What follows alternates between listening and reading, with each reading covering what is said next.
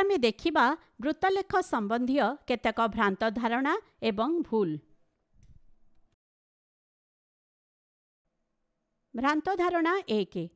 ଅମିତର ରୋଜଗାର ହେଉଛି ଚବିଶ ହଜାର ଟଙ୍କା ତଥା ସମୀରର ରୋଜଗାର ହେଉଛି ପନ୍ଦର ହଜାର ଟଙ୍କା।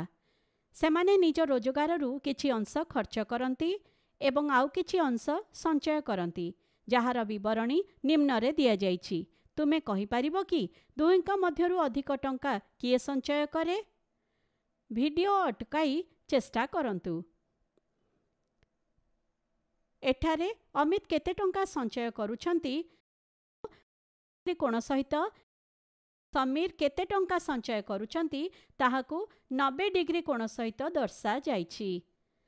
କେତେକ ପିଲା କୋଣଗୁଡ଼ିକର ତୁଳନା କରି ଧରି ନିଅନ୍ତି ଯେ ଅମିତ ଠାରୁ ଅଧିକ ଧନ ସମୀର ସଞ୍ଚୟ କରେ।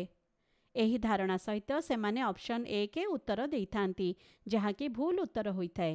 ସେମାନେ ବୃତ୍ତଲେଖକୁ ସମ୍ପୂର୍ଣ୍ଣ ଏବଂ ତାହାର ଭାଗ ରୂପରେ ଦେଖନ୍ତି ନାହିଁ। ଏଠାରେ ମୋଟ ଆୟ ସମ୍ପୂର୍ଣ୍ଣ ବୃତ୍ତ ବା ହୋଲ୍ ସର୍କଲ ଦ୍ୱାରା ସୂଚିତ କରାଯାଇଛି।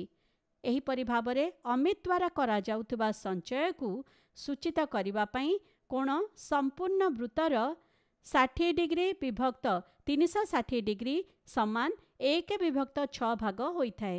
ଯେହେତୁ ବୃତ୍ତଲେଖରେ ବୃତ୍ତକଳା ସେକ୍ଟର ଅଫ୍ ସର୍କଲର କେନ୍ଦ୍ରୀୟ କୋଣ ସେଣ୍ଟ୍ରାଲ ଆଙ୍ଗେଲ ସୂଚିତ ସୂଚନା ସହିତ ସମାନୁପାତି ବା ପ୍ରପୋର୍ସନାଲ ହୋଇଥାଏ।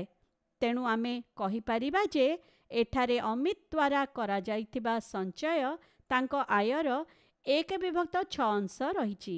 ଅମିତ ଦ୍ୱାରା କରାଯାଇଥିବା ସଞ୍ଚୟ ଏକ ବିଭକ୍ତ ଛଅ ଗୁଣନ ଚବିଶ ହଜାର ସମାନ ଚାରି ହଜାର ରହିଛି। ଏହିପରି ଭାବରେ ତୁମେ କହିପାରିବ କି ସମୀର ଦ୍ୱାରା କରାଯାଇଥିବା ସଞ୍ଚୟ କେତେ ହେବ? ଭିଡ଼ିଓ ଅଟକାଇ ନିର୍ଣ୍ଣୟ କରନ୍ତୁ। ଚାଲ ମୁଁ କହିଦେଉଛି ସମୀର ଦ୍ୱାରା କରାଯାଇଥିବା ସଞ୍ଚୟ ବିଭକ୍ତ ସମୀରର ଆୟ ସମାନ ନବେ ଡିଗ୍ରୀ ବିଭକ୍ତ ତିନିଶହ ଷାଠିଏ ଡିଗ୍ରୀ ସମାନ ଏକ ବିଭକ୍ତ ଚାରି। ଏହିପରି ଭାବରେ ସମୀର କରିଥିବା ସଞ୍ଚୟ ହେଉଛି ଏକ ବିଭକ୍ତ ଚାରି ଗୁଣନ ପନ୍ଦର ହଜାର ସମାନ ତିନି ହଜାର ସାତଶହ ପଚାଶ ଟଙ୍କା। ତେବେ କହିଲ ଦୁହିଁଙ୍କ ମଧ୍ୟରୁ କିଏ ଅଧିକ ଟଙ୍କା ସଞ୍ଚୟ କରିଛନ୍ତି? ଏକଦମ ଠିକ୍। ଅମିତ ଦୁହିଁଙ୍କଠାରୁ ଅଧିକ ଟଙ୍କା ସଞ୍ଚୟ କରନ୍ତି। ତେଣୁ ଅପସନ୍ ଏକ ହେଉଛି ଠିକ୍ ଉତ୍ତର।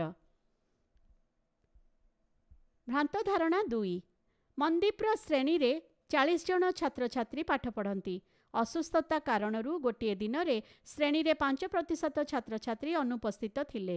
ଯଦି ଆମେ ଉପସ୍ଥିତ ଏବଂ ଅନୁପସ୍ଥିତ ଥିବା ଛାତ୍ରଛାତ୍ରୀଙ୍କ ସଂଖ୍ୟାର ବୃତ୍ତଲେଖ ଅଙ୍କନ କରିବା ଆବଶ୍ୟକ ହୁଏ ତେବେ ତୁମେ କହିପାରିବ କି ବୃତ୍ତଲେଖରେ ଅନୁପସ୍ଥିତ ଛାତ୍ରଛାତ୍ରୀଙ୍କ ସଂଖ୍ୟା ଦର୍ଶାଇବା ପାଇଁ ବୃତ୍ତକଳାର କେନ୍ଦ୍ରୀୟ କୋଣ କେତେ ହେବ?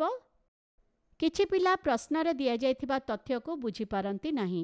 ସେମାନେ ସେମାନେ ଅନୁପସ୍ଥିତ ଥିବା ଛାତ୍ରଛାତ୍ରୀଙ୍କ ସଂଖ୍ୟାକୁ ପାଞ୍ଚ ବୋଲି ଧରି ନିଅନ୍ତି ଏବଂ ବୃତ୍ତକଳାର କେନ୍ଦ୍ରୀୟ କୋଣ ପାଞ୍ଚ ବିଭକ୍ତ ଚାଳିଶ ଗୁଣନ ତିନିଶହ ଷାଠିଏ ଡିଗ୍ରୀ ସମାନ ପଇଁଚାଳିଶ ଡିଗ୍ରୀ ପ୍ରାପ୍ତ କରିଥାନ୍ତି। ଦିଆଯାଇଥିବା ପ୍ରଶ୍ନରେ ଅପସନ୍ ଦୁଇ ଉତ୍ତର ଦିଅନ୍ତି ଯାହାକି ଏକ ଭୁଲ ଉତ୍ତର ହୋଇଥାଏ।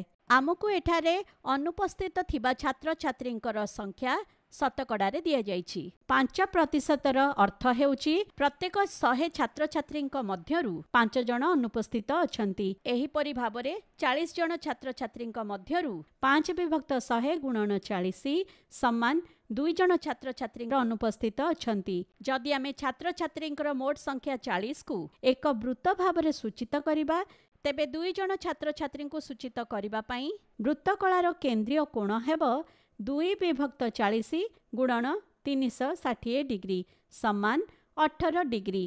ତେଣୁ ଏଠାରେ ଅପସନ୍ ଦୁଇ ହେଉଛି ଠିକ୍ ଉତ୍ତର।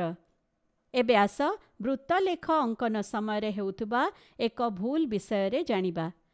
ପିଲାମାନେ ବୃତ୍ତଲେଖ ଅଙ୍କନ କରିବା ସମୟରେ ବିଭିନ୍ନ ବୃତ୍ତକଳା ଦ୍ୱାରା କେଉଁ ସୂଚନା ଦର୍ଶାଯାଇଛି ତାହା ଦର୍ଶାଇବାକୁ ଭୁଲି ଯାଆନ୍ତି ଏହି ଭୁଲ କାରଣରୁ ବୃତ୍ତକଳା କ'ଣ ଦର୍ଶାଉଛି ଏହା ଜାଣିହୁଏ ନାହିଁ।